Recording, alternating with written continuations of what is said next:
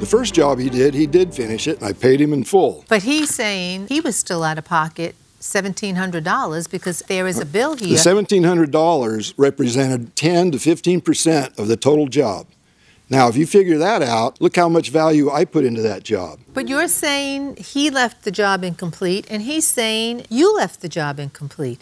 So I think that the two of you just didn't make a good deal here, Oh, or weren't I've- the two kind of people who should be working in a barter situation. Yeah, that's obvious now. Judge Corriero? Here's where the misunderstanding comes from. I don't think you ever had a meeting of the minds about this bartering. We can't use the number of hours to determine the cost of the ultimate projects. What you bartered for was a completed job. No. The job he did. He didn't do the other two. If he did the job, not the other if two. he did the other two jobs, would you be making this argument that it comes down to hours? I see your point, but I knew how long that was going to take because the previous job he did, the very first job he did that was completed and I paid him in full, I could see the kind of progress uh, him and Oh, his okay, helper You made made. an estimate, but he claims, and according to the papers, the both of you agreed on what the end result of your work would be. His end result was that second job. Your end result was welding those two bins together. No, not- now you claim that he did not finish the job.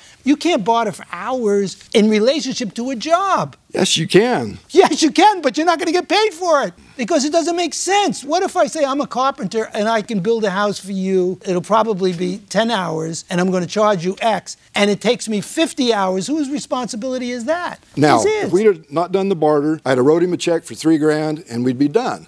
I don't, I don't, wouldn't care if he did it in a half a day. That's not the agreement. The agreement was they would work at a normal pace and I would do my normal pace, which is very fast, by the way, and we would right. equal out day by day. I can see I'm not persuading, but I want to know where is the proof that you completed the second job? Because you claim that he didn't complete the About sec- two hours work. I'm not worried about the hours work. But the No, key no. is it was an hourly agreement, not a job I, agreement. ne- I need to understand whether you completed the work that you agreed to do. Yes. I see here your exhibit. Does this photograph depict the job, and is it a finished job? After I painted it, after I hung the doors and the rain gutters, yes, he finished his He part finished of the job. it. Did you pay him for this job? I gave him fifteen hundred dollars for the materials. He gave it back when he saw my point Oh, that so I was feel way you ahead don't of owe him. him the fifteen hundred dollars for materials? Yes, I owe him the three thousand, but he owes me forty three hundred and sixty dollars. Judge Acker. There's no agreement. In order to have a there's no written binding agreement, no, there's no agreement. In order to have an agreement, there has to be a meeting of the minds. There have to be specific terms. That's and why I've listened court. to you, Mr. Johns. Don't interrupt me, please. All right.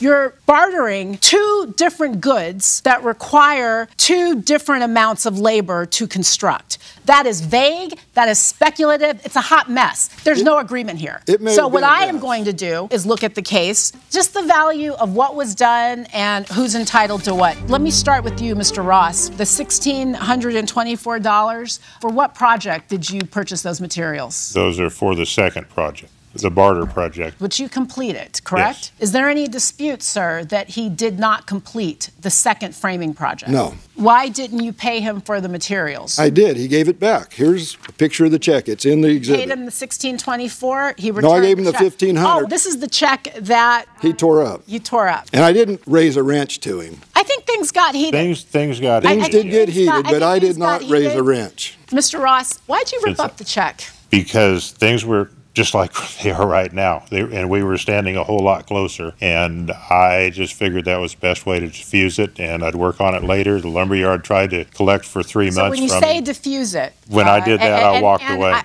I have great sympathy for people who feel like they've been wronged. So did you rip up the check because you said, you know what, we just need to call it even. Let's No. go our separate ways. You wanted to diffuse it. Yes. Wasn't that a way of diffusing it? You clearly had a misunderstanding. You eat your time and your costs. He eats his time and his costs. You two gentlemen go your merry way. Was that your intention? No, I figured it was a battle fought better a later day.